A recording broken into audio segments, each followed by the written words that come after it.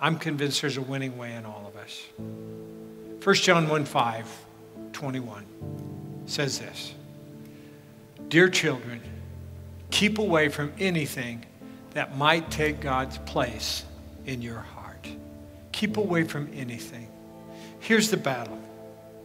I, I, like this verse so much because it talks about this spiritual battle that's going on in our life. And there's a daily battle that you and I need to, to face today. That we need to not let hate or bitterness or pleasure or money or, or another person in our life, anything get in the way of what God has for us. We're going to see that today. You and I are free to win if we keep our heart